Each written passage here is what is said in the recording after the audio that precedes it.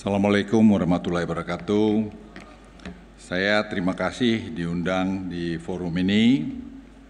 Saya diminta untuk uh, memberikan perspektif mengenai pengaruh geopolitik dalam mata rantai mineral kritis. Uh, saya baru kembali dari uh, Tiongkok.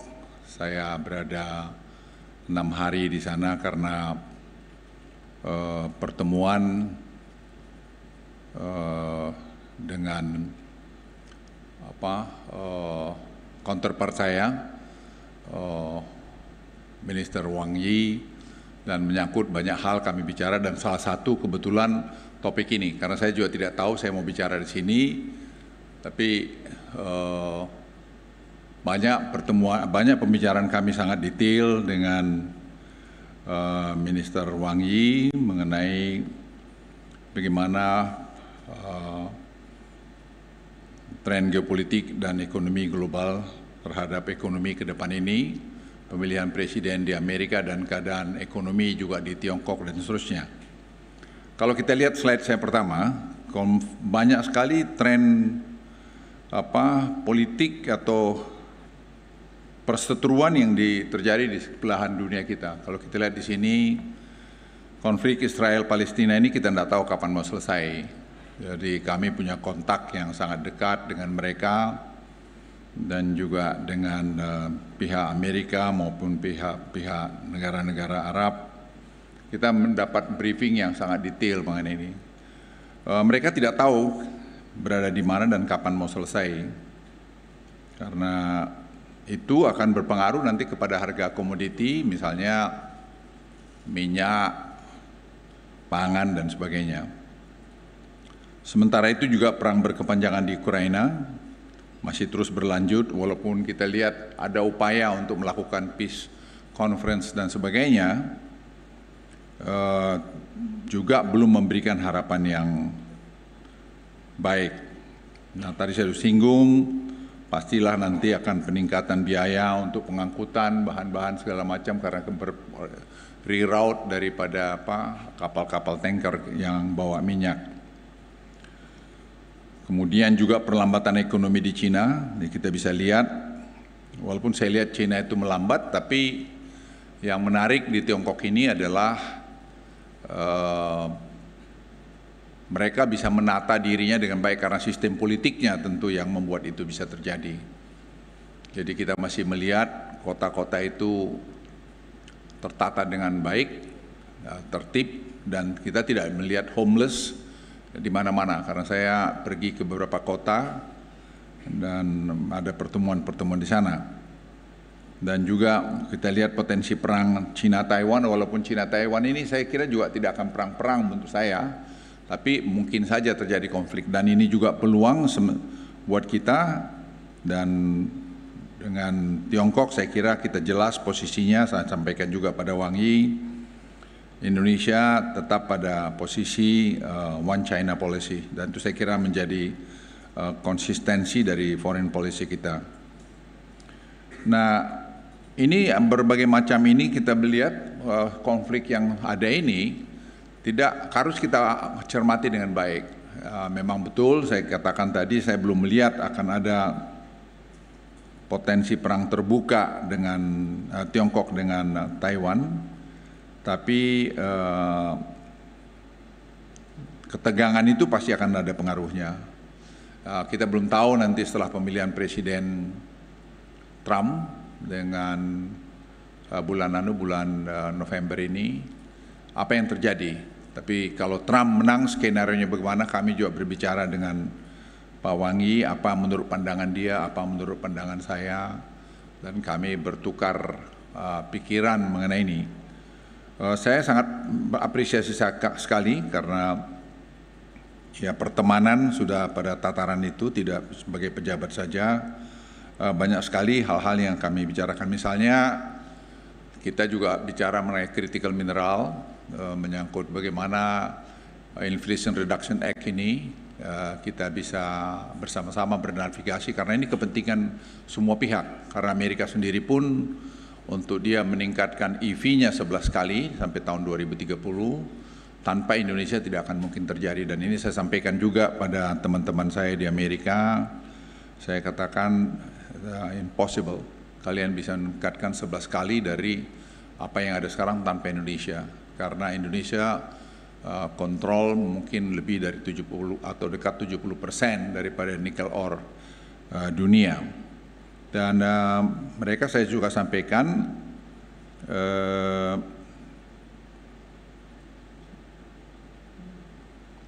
bagaimanapun teknologi dalam smelter dan teknologi dalam HPAL ini Tiongkok masih ketinggalan 9 tahun dari Amerika. Itu satu fakta. Jadi terlepas daripada uang, tapi dari segi teknologi kalian ketinggalan 9 tahun. Dan ini diakui oleh Tesla bahwa mereka memang ketinggalan 9 uh, tahun dari Tiongkok. Jadi kalaupun kalian punya uang, kalian tidak bisa beli waktu.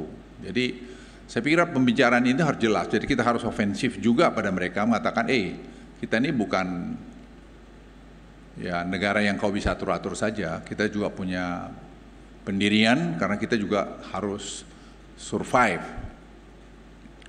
Nah, faktor geopolitik yang mempengaruhi tren perdagangan global ini, kalau kita lihat di sini sebenarnya, slide ini, ada tiga negara besar sebenarnya yang paling, eh, tiga kekuatan lah kalau saya katakan. Di sini sebenarnya ada kita lihat ya Cina, kita lihat juga Amerika, kita lihat Uni Eropa. Dan tren ini saya kira menjadi menarik ya kalau kita lihat dan market yang besar itu ASEAN. ASEAN itu Indonesia yang terbesar di sana. Dan kita yang paling kaya di sana dan kita bersyukur kita sudah melakukan downstreaming beberapa tahun dan itu sudah kita lihat buahnya. Saya kira ekspor kita tahun lalu itu hampir 40 miliar dolar dan saya pikir tahun 2030 kita akan dari downstreaming ini kita akan bisa ekspor sampai 70 miliar dolar. Dan itu yang memberikan kekuatan pada kita. Itu baru dari nikel ore karena nikel ore itu kita membangun ekosistem, tidak hanya membuat tadi nikel ore menjadi iron steel, tapi juga kita menjatuh sampai perkusor, katot dan sampai lithium baterai dan mobil listrik. Itu satu ekosistem yang kita bangun dan saya jelaskan kepada teman-teman saya di Amerika, saya bilang kami itu tidak sini, kami juga ingin ekosistem, kami juga pengen negara yang ber high income uh, country, jadi tidak kami hanya sekedar penerima saja, tidak bukan begitu.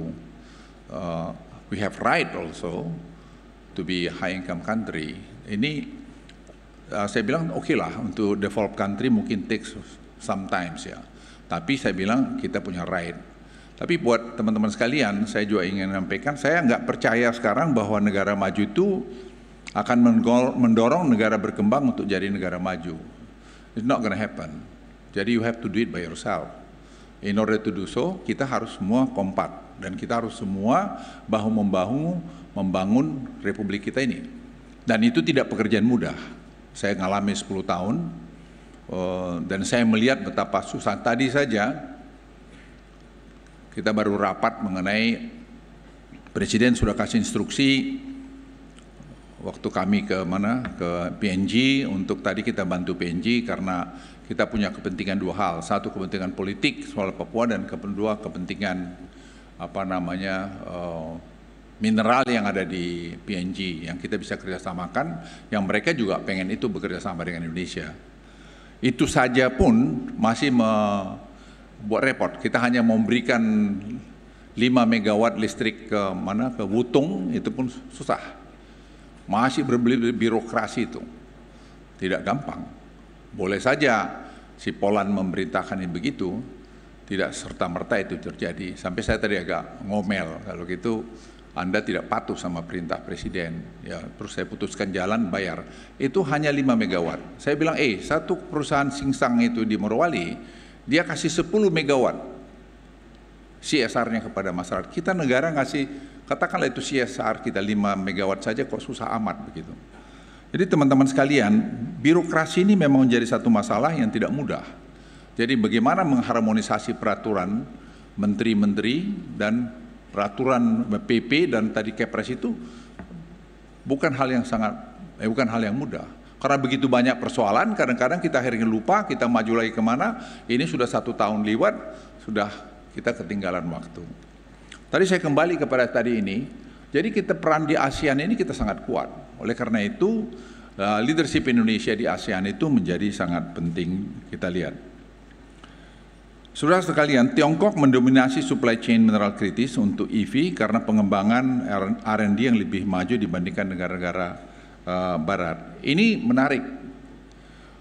Kenapa saya melihat ke universitas-universitas di Tiongkok, mereka punya dana research, itu seperti Jinjiang University. Dana researchnya itu hanya satu universitas Jinjiang, itu 450 juta dolar. How can you compete with the Jinjiang? How can you compete? Kita dana riset kita berapa? 27 triliun untuk seluruh nasional. Ini satu universitas. Itu adalah tadi uh, untuk tadi apa uh, min satu mineral satu apa uh, research untuk besi-besi itu apa namanya itu. Itu mereka begitu besar. Nah, Tiongkok ini betul-betul memajukan uh, research mereka, Beijing Genomic Institute. Mereka melakukan research luar biasa. Kita untungnya dengan ada high level dialog dengan Tiongkok, kita uh, bekerja sama dengan mereka sehingga uh, kita bisa mengikuti. Sekarang bisa kita bangun kerjasama langsung. Yang menarik adalah saya dari sekolah saya dari apa SMA Unggul Delhi itu ada yang ambil PhD di Princeton, ada di uh, untuk apa? Untuk uh, apa um, uh, apa brain satu lagi tadi di satu lagi di, eh, di Princeton untuk computer science dan dia minta boleh nggak Pak kalau saya pergi di BGI untuk melanjutkan research saya saya telepon dari ke Tiongkok saya minta begini-begini bilang mereka bilang bisa pilihlah anak muda ini dari kampung ini yang nilainya straight for truth dia bilang, Pak, kok saya boleh semua lihat labnya mereka? Lab mereka itu yang lebih bagus dari lab saya di Princeton. Anda bayangin Princeton salah satu top university untuk tadi adu computer science. Tapi dia boleh melihat apa saja yang ada di BGI tadi. Apa yang mau saya sampaikan, begitu majunya mereka dan mereka tidak takut tadi bahwa ada orang lain yang melihat atau meniru uh, hasil riset mereka. Dominasi Tiongkok ini besar sekali dan dalam penguasaan teknologi seperti tadi komponen lithium, kalau kita lihat nih katot dan segala macam, kita lihat data ini, itu jauh lebih leading dari negara mana pun. Tidak ada yang bisa ngalahin mereka hari ini.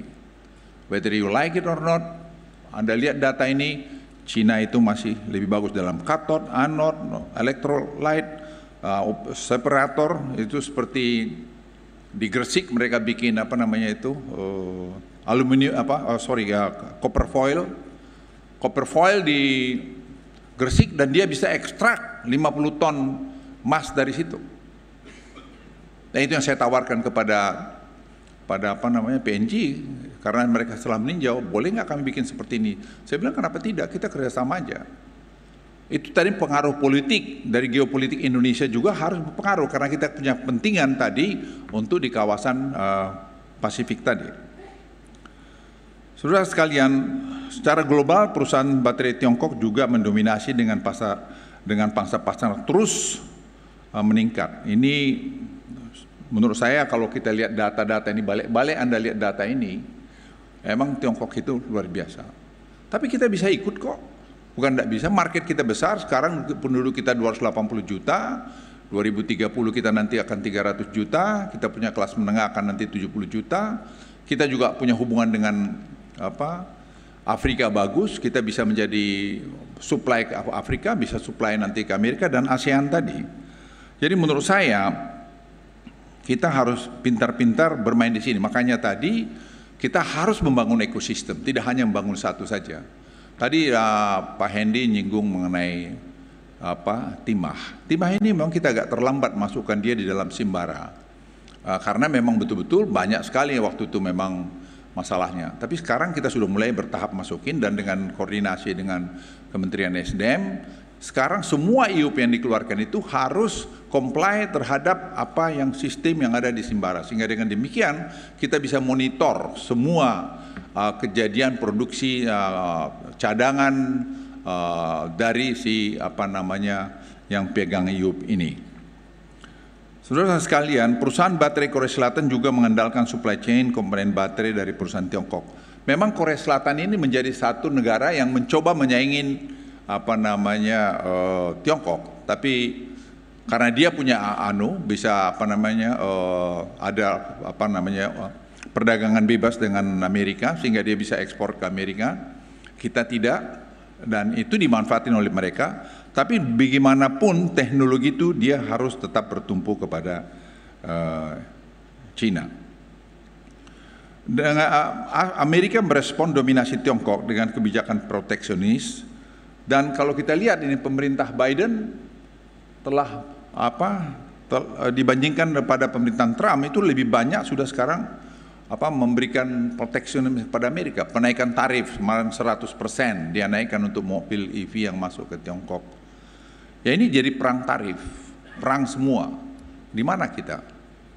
Kita kan harus survive juga Saudara sekalian, ini hal yang penting kita lihat uh, apa namanya perkembangan-perkembangan dunia sekarang. Kita punya barang, yaitu apa raw materialnya punya nikel ore punya tadi apa apa namanya uh, si, uh, silika kita punya tadi juga batu bara tentunya kita punya juga koper kita punya banyak kemarin saya di Tiongkok ketemu dengan perusahaan Tiongkok yang pengen investasi dalam bidang apa namanya uh, uh, solar panel saya bilang kita punya silika banyak kalau masuk kita kan mau ekspor kita punya listrik ke mana ke, ke Singapura kita ajak dia masuk berapa 3,8 miliar dolar.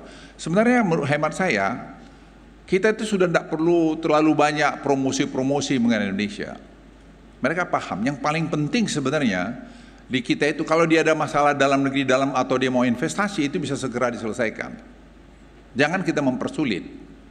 Ya, jangan mempersulit. Makanya OSS online single submission itu perlu segera diperbaiki, disempurnakan. Karena menurut saya masih ada kekurangan di sana sini yang perlu kita perbaikin. Nah, tidak hanya Amerika, eh, tadi saya bilang proteksi perdagangan, investasi secara pandemi juga kalau kita lihat ini sudah pengaruhnya jauh besar. Sejak COVID-19 itu kita lihat sebenarnya sudah terjadi eh, apa namanya proteksionisme ini. Eropa juga menyiapkan kebijakan green protectionism yang berpotensi menimbulkan trade barrier bagi negara-negara berkembang. Ya itu sebabnya tadi kita ajak saja negara-negara berkembang untuk masuk pada kita. Global South ini saya kira menjadi penting dan uh, seperti Nigeria kita ajak masuk di dalam sipoksi, tadi juga PNG kita ajak masuk sipoksi untuk kita ya bisa juga berdagang dengan Eropa. Kemarin saya kira tim uh, dari Marves sudah bicara dengan Eropa Uh, mengenai file mereka ke WTO, mereka sekarang sudah mau bicara dengan kita dan peluangnya mungkin sudah makin bagus, tidak seperti kemarin dia kerasnya karena dia tahu kita itu a matter of survival. Ya kita akan lawan, kita tidak bisa melakukan itu. Dan ini saya kira berjalan dan um, saya berharap uh, bahwa tidak terlalu lama kita akan menyempurnakan kita punya SEPA sehingga dengan ada SEPA kita tadi kita akan lebih banyak bisa nanti melakukan perdagangan uh, dengan Uni Eropa. Dan saya berharap nanti uh, kita bisa lebih uh, fleksibel karena mereka juga menyadarin dan mereka sudah berani mengatakan ya kalau boleh turunan ketiga kedua ketiga dan seterusnya daripada nikel ore itu seperti katot apa uh, apa namanya yang lain jangan kalian kenakan tarif untuk keluar. Saya bilang kita dari awal nggak pernah kok mau gitu. Yang kita mau tuh adalah waktu dari nikel menjadi nikel ore karena di situ rupa nilai tambah yang paling tinggi. Tadi kepala yang lain kita uh, senang saja dia minta begitu dan itu saya kira sedang dinegosiasikan dan itu yang paling baik bahwa mereka sekarang sudah bernegosiasi dengan kita yang tadinya mereka uh, jalan buntu. Kita Eh, sangat senang dengan itu. Nah Indonesia juga harus beradaptasi dengan tren kebijakan perang dunia yang mengarah pada fragmentasi ini. Kalau Anda baca slide ini, kita lihat bahwa uh, kita harus bisa bernavigasi di celah-celah uh, pertentangan dunia ini. Saya pikir nah, peraturan-peraturan kita harus lebih fleksibel dan saya juga ingin kita mengharmonisasi banyak peraturan yang kadang-kadang seperti saya singgung tadi ada peraturan satu kementerian itu mengikat pada kementerian lain. Uh, kelihatan mudah.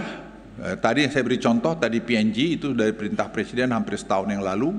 Baru tadi kita bisa putuskan dan saya kasih ultimatum 10 hari harus beres dari uh, keuangan untuk segera kasih endorse mengenai uh, pemberian harga uh, 20 sen per kilowatt hour untuk listrik yang kita kirim ke Wutung di mana di uh, PNG.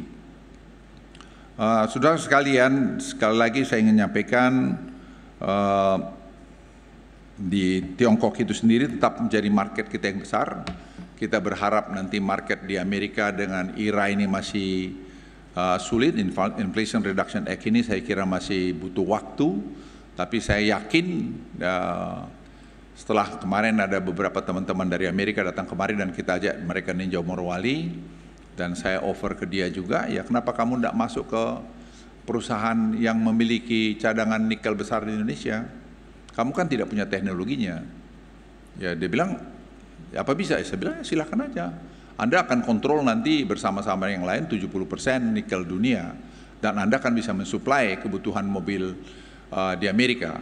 Uh, dan subsidi Anda akan berkurang hampir 30 miliar dolar mobil EV karena program ini. Jadi saya uh, tawarkan dia, dia lihat, dia bilang, uh, General Luhut, boleh nggak kita bangun GV di di Amerika? Saya bilang bisa aja.